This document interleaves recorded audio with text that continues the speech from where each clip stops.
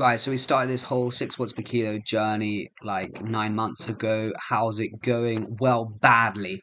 We're going to go through what's happened this year. I haven't made any videos for years because I've been pretty busy. But anyway, what we're going to go through is like how racing's been, which is not great, how the general year's been, not great, and how six watts per kilo for 20 is going, again, not great. But there are some learnings to take from this, and actually, if you look solely on power data, one of my best years ever. So what we're going to do first of all is show you probably my best best 10 minute effort, probably best performance ever this year. Uh, fresh effort, but what we can see here is it's my local climb, Burrington Combe, uh, 9 minutes 20 at 360 watts. So I was probably 61, yeah, I was 61 kilos at this time. It's about 5.9 watts per kilo for 9 minutes 20 if someone said, "Could you do it for ten minutes?" Obviously, you can. Like forty seconds is irrelevant. That's just like the climb isn't ten minutes long. So 360 watts, my best ever 10 minute power if it's 10 minutes, which I am going to say for this video it basically is. So you can see 26k an hour, six percent. Like it's not bad. It's not a quick road, but I came like 15th overall in the segment, so I'm not like too upset. You can see like first six minutes 360, flat bit, and then the last part passion meter 380 watts. Like when you actually look at this, you think I probably could have got more out, like 380 watts last two and a half minutes. Like, yeah, there's this bit where it's flat. Um, but you know what I mean. Anyway, point is, very good numbers. This is my best ever, and I have 61 kilos, 5.9. So that is good uh, for sure. Best ever 10 minute power. But if we're thinking about 20 minute power, I'm I'm not doing 354 watts, which was my goal at 59 kilos. Like that's just not happening. So uh, 20 minutes. I just haven't had a good 20 minutes. I did one and I was just like ill and the numbers were useless, like 320 or something terrible. So my best 20 minutes this year is like, yeah, I think 320, which is not great. I haven't really tested. There's been a lot of issues, which we'll get into. But based on this, let's say like 360, um, take off maybe 10%, 335 for 20 minutes. I reckon I'm not. I reckon I'm like 340, 345 would be my estimate on that day if I did a 20 minute test. I was pretty happy with this effort because uh, like I went quick, which was the main thing, uh, and also uh, yeah, it's like good good ten minute power for me. And we're gonna look through some of my peak performances. So what you'll see is 2019, I was on a stages, and this was before I crashed and had like was in intensive care for like two and a half weeks or something. So obviously, you know, broke my leg, etc. Just imagine Froomedog, I did that. So not great. But except five seconds and like twenty and like longer power, like on three key durations, best ever this year. So you'll see we'll go over to one minute. Oh, this is gonna take so long now. 580 watts for one minute uh, which isn't great. I definitely can do more. Uh, but anyway, still best ever. Can't complain. You know, you can always say you can do more, whatever. That's the best I've ever done, 580 watts. So good. I can definitely crack 600. Like, this was just useless. Five minutes. Again, you can see the two efforts from 2019. This was 397 watts. If we actually look at this, though, this was early on in the year as well. I tried to crack out 420 recently. Uh, this was like the week after I did my Burrington like 360.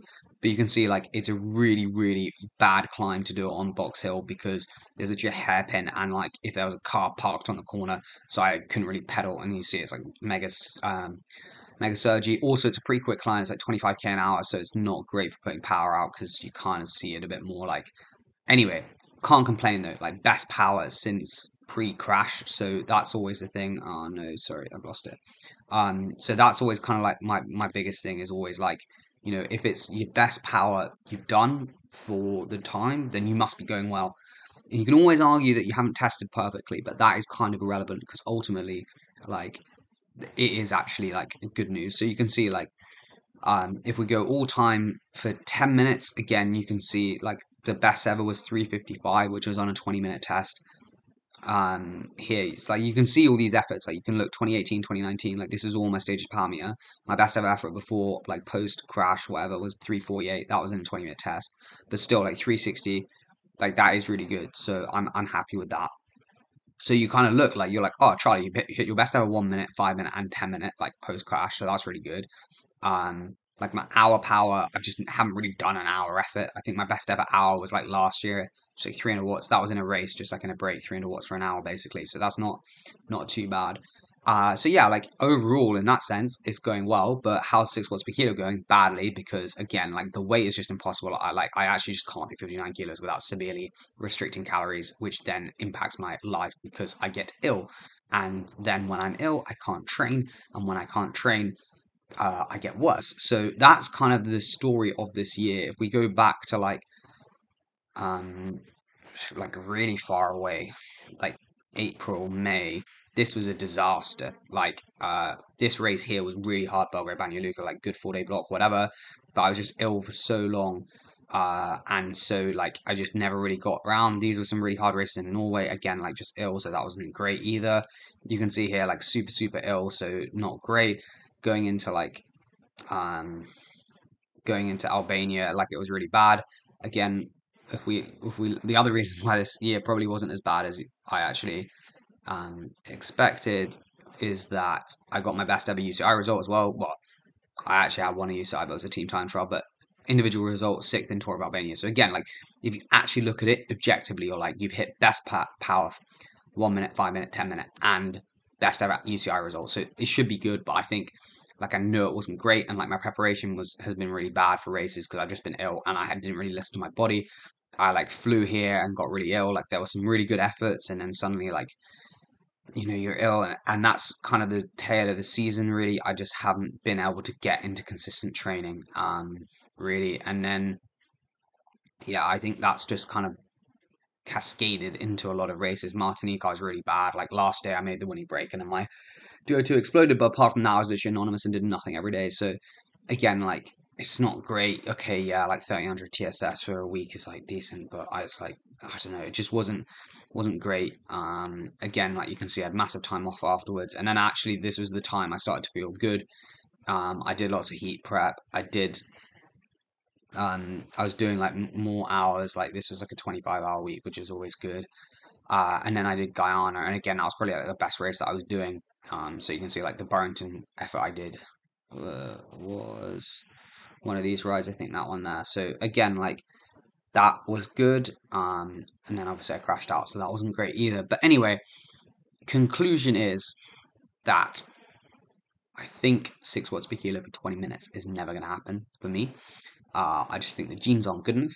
But you know, I think I could definitely, I can definitely do more power. I think 350 for 20 is definitely on the cards. Like I think that is 100% possible.